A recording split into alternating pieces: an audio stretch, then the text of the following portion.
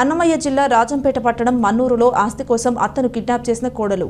అన్నమయ్య జిల్లా రాజంపేట పట్టణంలోని మన్నూరు రామాలయం సమీపంలో గత ఆదివారం ఆస్తి కోసం తనను కిడ్నాప్ చేసి బెదిరింపులకు పాల్పడ్డారని వృద్ధురాలు అని కూడా చూడకుండా తనపై భౌతిక దాడికి పాల్పడి స్వర్ణాభరణాలు అపహరించి ఆస్తి కాజేసేందుకు కుట్రలు పన్నారంటూ ఆరోపిస్తూ మన్నూరు రామాలయం సమీపంలో నివసిస్తున్న కుడుముల లక్ష్మీ నరసమ్మ శనివారం తన నివాసంలో పాత్రికేయుల సమావేశం ఏర్పాటు చేసి బోరున వేలపించింది.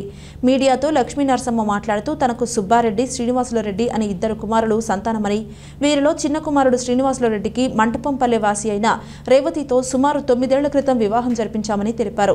వివాహం అవ్వగానే నూతన దంపతులు కడపలో వేరుకాపురమంటూ వివాహమైన ఒక మాసానికే ఇద్దరు కువైట్కు వెళ్ళారని అక్కడ ఇద్దరి మధ్య పరస్పర విభేదాలు రావడంతో కొడుకు కోడలు విడిపోయారని తెలిపారు.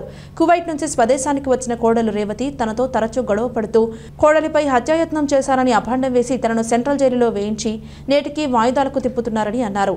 ఈ నేపథ్యంలో గత ఆదివారం తన కోడలు రేవతి బంధువులను తీసుకువచ్చి మన్నూరులోని తన నివాసం ఎదుట తనను కిడ్నాప్ చేసి ముసుగు తొడిగి రాయచోటికి తీసుకువెళ్ళి నాలుగు రోజుల పాటు చిత్రహింసలు చేసి బుధవారం విడిచిపెట్టారని విలపించారు. వృద్ధురాలినని కూడా చూడకుండా తనపై చేయి చేసుకోవడమే కాక నాలుగు తులాల సరుడు ఐదు గ్రాముల కమ్మలు ఒక సెల్ ఫోన్ను దౌర్జన్యంగా అపహరించారని ఆరోపించారు. కువైట్లో ఉన్న తన చిన్న కుమారుడిని స్వదేశానికి పిలిపించి ఆస్తి తన పేరిట రాయించాలని లేకపోతే చంపుతామని బెదిరించారని భర్త మరణించి మన్నూరులో ఒంటరిగా ఉన్న తనపై హత్యాయత్నం చేసేందుకు కోడలు కుట్ర పన్నుతోందని పోలీసులు తనకు రక్షణ కల్పించాలని వేడుకున్నారు. తనపై జరిగిన కిడ్నాప్పై తన కుమారుడు శ్రీనివాసులు రెడ్డి ఆన్లైన్ ద్వారా పోలీసులకు ఫిర్యాదు చేశారని పోలీసులు స్పందించి తన కోడలి నుంచి తనకు రక్షణ కల్పించి కిడ్నాప్ చేసి దాడికి పాల్పడిన వారిని అరెస్టు చేసి కేసులు నమోదు చేసి న్యాయం చేయాలని ఆమె వేడుకున్నది. పోలీసులు కేసు నమోదు చేసి ఈ వృద్ధురాలికి న్యాయం చేస్తారా లేదా అన్నది వేచి చూద్దాం. నా పేరు కూడా లక్ష్మీనరసమ్మ.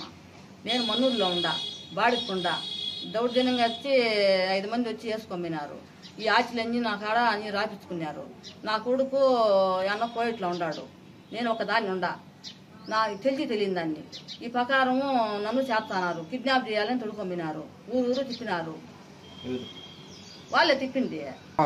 వా ఇల్లు పలానా తాడు దొరకమ్మంటే వీళ్ళు ఐదు మంది వాళ్ళు దొరకకపోతా వచ్చినారు. మా అమ్మ సులోచనమ్మ రేవతి మాధవి మాధవరెడ్డి సులోచనమ్మ కొడుకు. సహాదేవి. కొట్టి ఆచల కోసం అయ్యి సంతకాలని పెట్టుకొని నన్ను చంపాలని చూసినారు. నెలకులోగా నీ కొడుకు వచ్చే వచ్చినట్లు నీ చంపుతాము అని చెప్పినారు. మళ్ళా ఇది కాక మళ్ళా బస్ ఎక్కించి అన్ని ఊర్లు తిప్పి మళ్ళా. నేను ఆడబడి ఆడబడి వచ్చేసిన ఇంటికి. ఆ? నన్ను ఎప్పుడైనా నిన్ను ఎప్పుడైనా చంపేస్తాము. నెలకులోగాను అని యాడికి ఏకైతే పోయినా మాకు మమ్మల్ని పట్టించుకోలేదు. మీరన్నా న్యాయం చేయాలా?